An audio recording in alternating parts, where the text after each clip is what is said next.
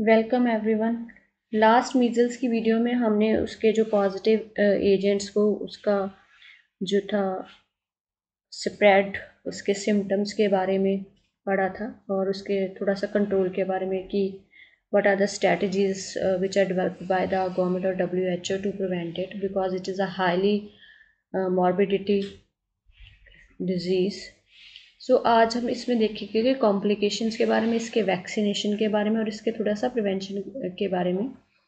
सो so, जो complications है सबसे पहले एज वी नो कि ये पाँच साल के कम एज वाले बच्चों के ग्रुप में ज़्यादा होती है। अगर किसी पर्सन को एड्स है तो उसको ये ज़्यादा कॉम्प्लिकेशंस प्रोवाइड करती है। सबसे कॉमन कॉम्प्लिकेशन क्या है मीज़ल्स की जिससे कि आप देख रहे हैं येलो लाइंस के अंदर की ओटाइटस मीडिया सबसे ज़्यादा ओटाइटिस मीडिया इंपॉर्टेंट है कि कान से पानी बहना या कह लो कान बहने लगना। रेंजियोट्रेक्टियो ब्रोंकाइटस इन्फ्लामेशन हो जाती है ब्रोंकस की।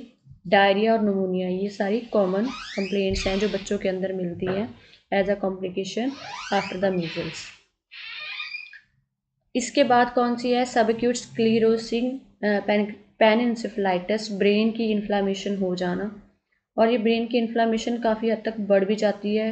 प्रोग्रेसिव होती है, बढ़ जाती है और इसकी वजह से अगर प्रोग्रेसिव इंसेफेलाइटिस हो जाए किसी बच्चे को तो उस केस के अंदर क्या है कि उसका अगर हम जो ब्रेन का जो बायोप्सी या फिर जो फ्लूड है हमारा सी एस एफ़ फ्लूड है, अगर हम उसको माइक्रोस्कोपी देखेंगे तो उसके अंदर हमें क्या है, इसकी इंक्लूशन बॉडीज़ जो हैं मीज़ल्स की वो मिलेंगी। जो स्टूडेंट्स जो बच्चे माल न्यूट्रिटेड होते हैं, उनके अंदर ये ज़्यादा कॉम्प्लिकेशन क्रिएट करता है। विटामिन ए की जिनको डेफिशिएंसी होती है, उनके अंदर भी। इसका केस जो फर्टिलिटी रेट है, वो काफ़ी ज़्यादा है मीज़ल का। That is about three two six तीन से छः लोगों को ये ज़्यादा फेटल तरीके से इफ़ेक्ट करता है।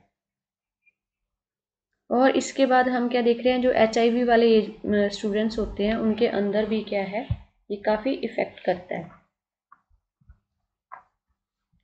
ये था इसका कॉम्प्लिकेशन और अगर कॉम्प्लिकेशंस में और आ जाते हैं कि कई बार जिन बच्चों के अंदर विटामिन ए की डेफिशिएंसी होती है तो उनको विटामिन ए देना बहुत ज़रूरी है ड्यूरिंग जब उनको कोई मीज़ल्स का इफेक्शन हो जाता है तब तो उनको विटामिन ए देना ज़रूरी होता है।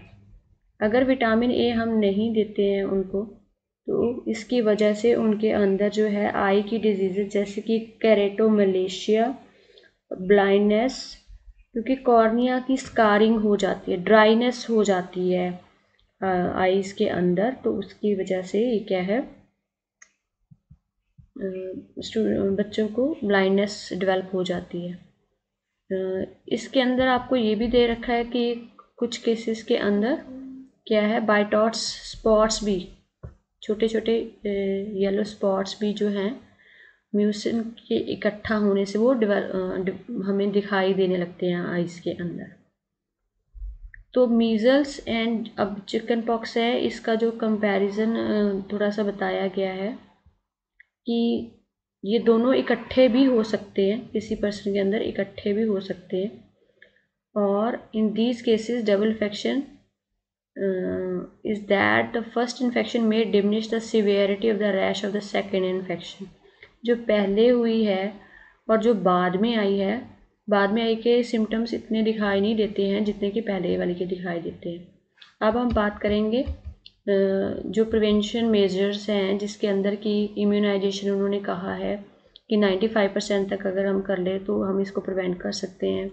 दूसरी तरफ़ उन्होंने कहा है कि का आने वाली जो भी जनरेशन है, उनके अंदर वैक्सीन लगना ज़रूरी है। तो सबसे पहले हम वैक्सीन की बात करें कि कौन कौन से वैक्सीन है। वैक्सीन के लिए यहाँ पर उन्होंने कहा है कि ये एक non agriculture vaccine are produced in today's date ये जो वैक्सीन है, ये एग कल्चर बेस्ड नहीं होता है। Non egg culture based egg based culture नहीं होता ये टिश्यू कल्चर बेस्ड वैक्सीन है। आइधर जैसे कि चिक एम्ब्रियो जो मुर्गी का एम्ब्रियो होता है, या फिर human diploid cell line human के जो डिप्लॉयड सेल्स होते हैं, उनके अंदर, उनके साथ इसका जो है वैक्सीन डेवलप किया जाता है।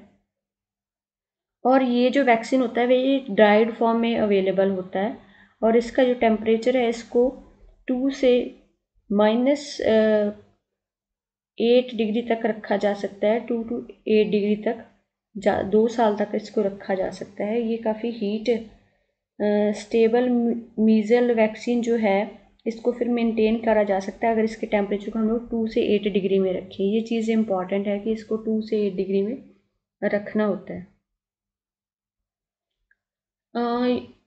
इस नई बुक के अकॉर्डिंग उन्होंने कहा है कि फ्रीज्ड ड्राइड प्रोडक्ट होता है। बिफोर यूज़ इसमें क्या करते हैं? The lyophilized vaccine is reconstitution with the steroid gluten sterile gluten के साथ इसको मिलाया जाता है और इसकी डोज होती है पॉइंट फाइव एम जिसके अंदर की एक हज़ार से ज़्यादा viral infective units of the strain होते हैं। ये एक लाइव एटीन्यूटेड वैक्सीन है, जिसके अंदर की वायरस का जो खोल, कह लें आउटर वॉल को यूज़ किया जाता है, जिसकी वजह से वो हमारी बॉडी रिएक्शन देती है और इम्यूनिटी पैदा करती है।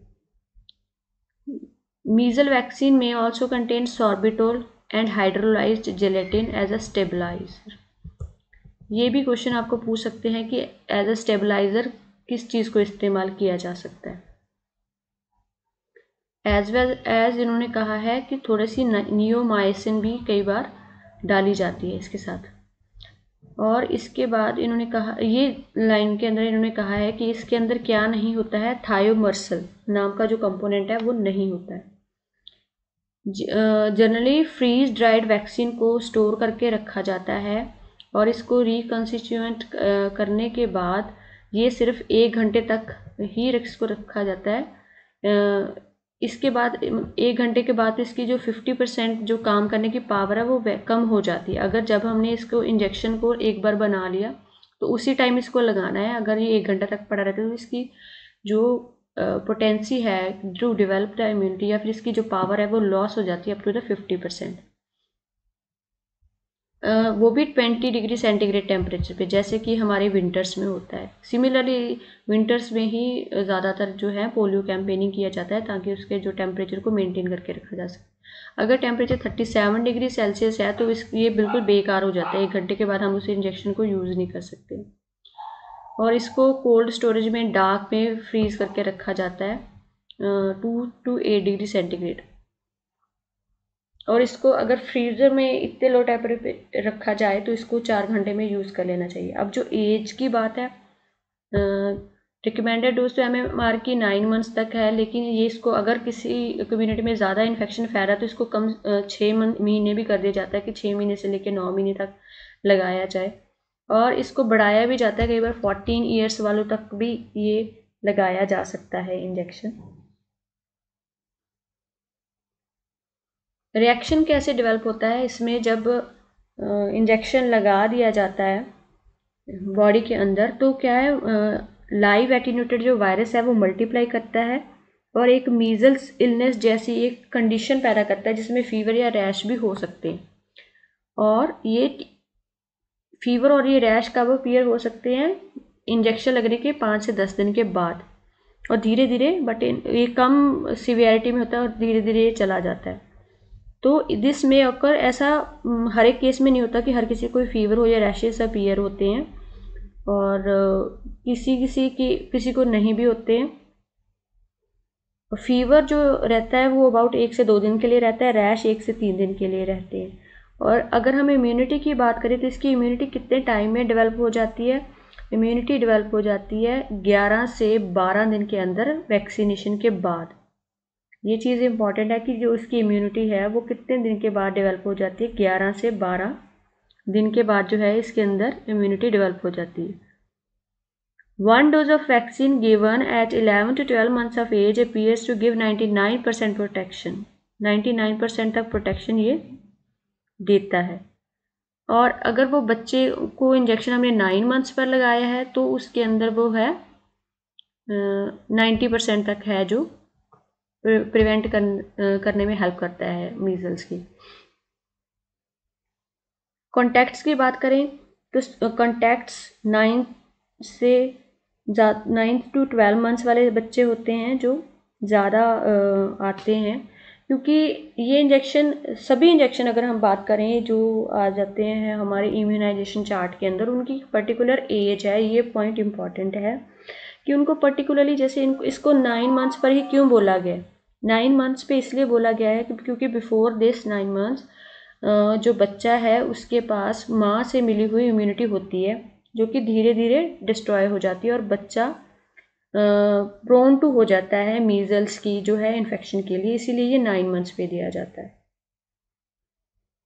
और अगर हमें ये पता चल जाए कि हाँ इंक्यूबेशन पीरियड है मीज़ल्स का चल रहा है तो उस टाइम पे भी बच्चे को इंजेक्शन दिया जा सकता है आईजीएम का इंजेक्शन दिया जाता है ताकि वो प्रिवेंट करा जा सके उसकी सीवियरिटी को।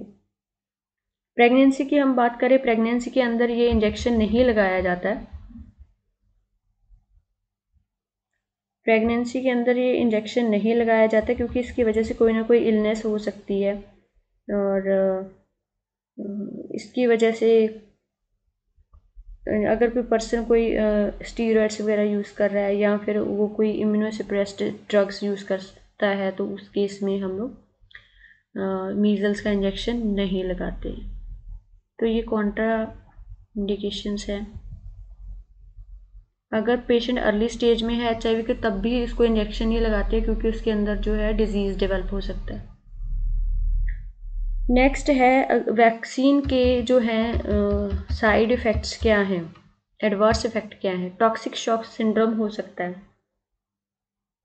अगर मीज़ल्स का वैक्सीन जो कि कंटेमिनेट हो चुका था जहाँ जिसको ज़्यादा टाइम हो गया था पड़े हुए को, और vaccine should not be used after four hours of opening the vial चार घंटे बाद उसको यूज़ नहीं करना है। तो अगर वो इंजेक्शन लग जाता है तो वो टॉक्सिक शॉक सिंड्रोम दे सकता है, जिसके अंदर डायरिया वॉमिटिंग और हाई फीवर डिवेल्प हो जाता है। और इसकी वजह से डेथ भी हो सकती है। एचआईवी पॉजिटिव केसेस के अंदर जो है मीज़ल वाला वैक्सीन हम नहीं लगा सकते हैं। इसके बाद ये कंबाइंड इंजेक्शन फॉर्म में भी आता है मीज़ल मम्स रुबेला ये तो हम सबको पता है, आजकल मीज़ल मम्स रुबेला और वेरीसेला का भी इंजेक्शन आया जो कि चिकन पॉक्स के लिए होता है। कई जगह पर हमें मीज़ल्स और रुबेला का इंजेक्शन भी देते हैं। जिन लोगों की एज ज़्यादा है, उनको मीज़ल्स और रुबेला का इंजेक्शन ही दिया जाता है। इम्नोग्लोबलिन अभी हमने जैसे कहा कि अगर हमें पता चले कि पेशेंट इंक्यूबेशन पीरियड में है उसको एक्सपोजर के तीन चार दिन के अंदर ही उसको आईजीएम का आईजीजी का इंजेक्शन दे दिया जाता है।